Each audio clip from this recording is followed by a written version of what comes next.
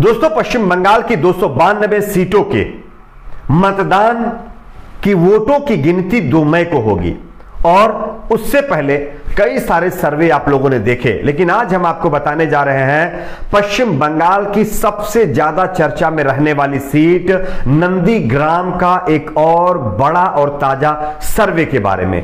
इस सर्वे के आंकड़े चौंकाने वाले हैं। दोस्तों, इस सर्वे के मुताबिक नंदीग्राम में कौन बाजी मारता है? शुभेंदु अधिकारी या फिर ममता बनर्जी?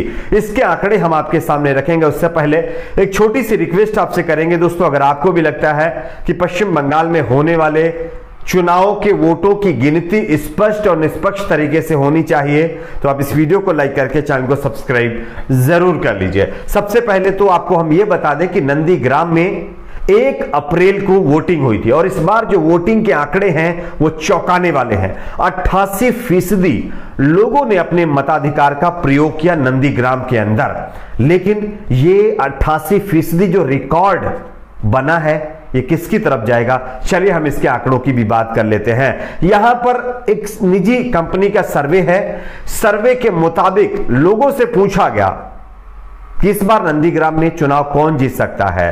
तो 44 प्रतिशत लोगों ने कहा है कि ममता बनर्जी यहाँ पर चुनाव जीत सकती हैं। जबकि बीजेपी यानी कि ममता बनर्जी के सहयोगी, पहले शुभेंदु अधिकारी टीएमसी में थे, अब बीजेपी में चले गए हैं। उनकी अगर बात करें तो उनको लगभग यहाँ पर इकतालीस फ़ीसदी लोगों ने कहा है कि वो यहाँ से चुनाव जीत सकते हैं। तो दोनों के बीच में कांटे का मुकाबला है। अगर बात करें कांग्रेस पार्टी की तो यहाँ पर इनका कैंडिडेट जो है 16 फ़ीसदी लोगों ने इनके फेवर में भी कहा है कि इनका कैंडिडेट जीतना चाहिए।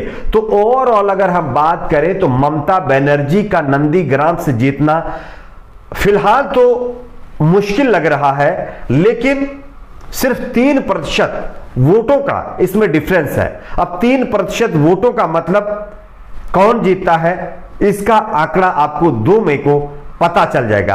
आपका अपना प्रोडिक्शन क्या कहता है? नंदीग्राम की सीट पर कौन सी पार्टी का कैंडिडेट जीतेगा? क्या ममता बनर्जी यहाँ पर जीतेंगी या फिर शुभेंदु अधिकारी? नीचे कमेंट बॉक्स में अपना प्रोडिक्शन आप ज़रूर शेयर करिए, ठीक है? और वीडियो को ज़्यादा से ज़्यादा लाइक शेयर करें चैनल को सब्सक्राइब भी ज़रूर करें।